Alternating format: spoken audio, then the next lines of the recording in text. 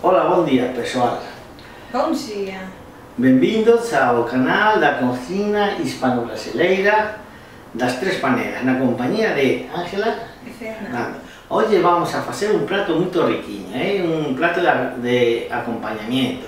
É um prato que se chama eh, arroz branco de guarnição, não? que sirve de acompanhamento a, a a frango cocido, a qualquer pratinho eh, que se faça de uma forma mais ou menos rápida, eh, que se, também se come com feijão. Bom, vamos allá. Vamos à cozinha. Os ingredientes são uma xícara de arroz, duas xícaras de água, duas colheres de sopa de óleo ou de azeite, sal a gosto, três dentes de alho picados a gosto. Bom pessoal, vamos a fazer o, arroz branco em uma panela, eh, já vem, de fundo mais ou menos corto, eh, de fundo corto e mais bem ampla. É importante isto para que o agua se evapore de uma forma mais ou menos contínua. Agora minha esposinha vai começar ela. Nessa panela colocamos o azeite ou o óleo, tá?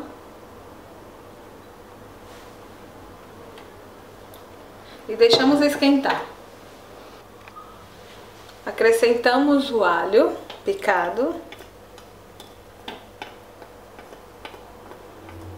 E vamos refogar até ficar não muito dourado, tá pessoal?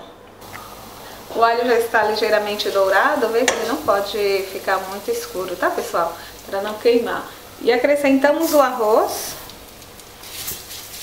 Vamos misturando bem, refogando, para pegar o sabor, ficar tudo mescladinho e também para que o arroz fique soltinho. É muito importante esse passo de refogar o arroz, tá? Eu refogo por mais ou menos uns 5 minutos. Aqui eu tenho água fervente, pessoal. Nós vamos acrescentar o nosso arroz, tá?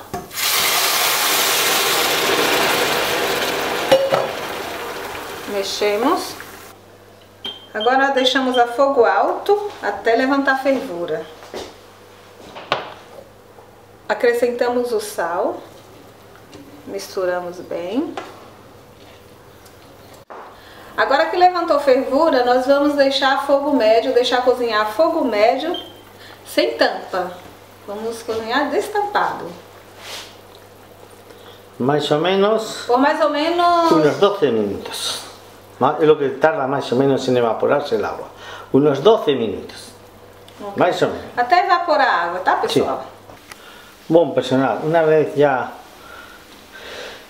consumido el agua, ¿eh? a fuego medio, eh, vamos a apagar el fuego. ¿eh? Y mi esposinha va a tapar Então agora nós vamos deixar o nosso arroz descansar. Já está pronto. Tampamos e deixamos descansar por mais ou menos 15 minutos, tá? Antes de servir. Bom, depois de 15 minutos reposando, ¿eh? abrimos a tampa. Aí, Vamos ver o momento da verdade. Olha como está soltinho o nosso arroz, pessoal, olha. ¿Eh? El arroz tiene que estar soltiño, ¿eh? Soltinho, soltinho. Tiene que estar soltiño, ¿eh? Aham. Más o menos tiene que estar soltiño para comer, ¿eh? No puede estar una pasta, tienen que estar los granos soltiños, ¿eh? Más o menos así, como están. ¿sí? Bueno, buen apetito. Eh, hasta la próxima receta. Tchau, tchau, gente. Tchau. apetite.